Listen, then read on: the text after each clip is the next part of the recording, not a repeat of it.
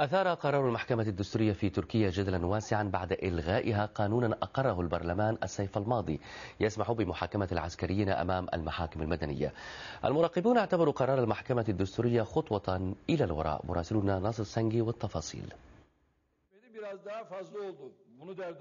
في الوقت الذي كان يسعى فيه حزب العدالة والتنمية الحاكم برئاسة رجب طيب إردوغان إلى مزيد من الإصلاحات الديمقراطية للحد من تأثير الجيش على الحياة المدنية في البلاد جاء قرار المحكمة الدستورية بإلغاء قانون محاكمة العسكريين أمام المحاكم المدنية كلطمة قضائية غير منتظرة للحكومة.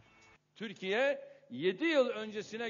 تركيا وقياسا بالسنوات السبع الماضية تعد دولة أكثر حرية ودولة رفعت من معايير الديمقراطية فيها إلى مستويات عالية. يستطيع كل من فيها التعبير عن رأيه ومناقشة جميع القضايا دون أي موانع. أعضاء المحكمة الدستورية الأحد عشر صوتوا ضد القانون الذي أقره البرلمان التركي الصيف الماضي لكن حزب الشعب الجمهوري المعارض رفع دعوى أمام المحكمة الدستورية لإبطال القانون وكسبها. في الحقيقة تركيا تعيش تحولا ديمقراطيا منذ بضع سنوات يهدف إلى رفع وصاية الجيش عن الحياة المدنية. لكن قرار المحكمة الدستورية جاء ليشكل ضربة موجعة لهذا التحول. الجيش سارع إلى عقد مؤتمر صحفي لتوضيح موقفه من هذا القرار الذي يصب في مصلحته وفق المراقبين إذ إن خطط الانقلاب ضد الحكومة الحالية والتي كشف عنها مؤخرا كانت تهدد كثيرا من منتسبي الجيش الحاليين والمتقاعدين بتقديمهم للمحاكمة أمام المحاكم المدنية.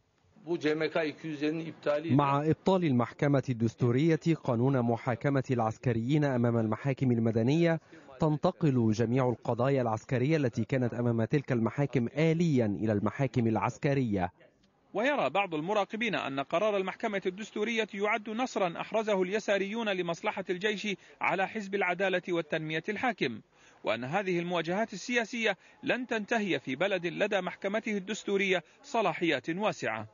يتفق المراقبون هنا على أن قرار المحكمة الدستورية هذا يضع ديمقراطية تركيا أمام اختبار صعب ويعجل بتغيير الدستور العسكري الحالي بدستور مدني. من إسطنبول عبد الناصر سانجي بي بي سي.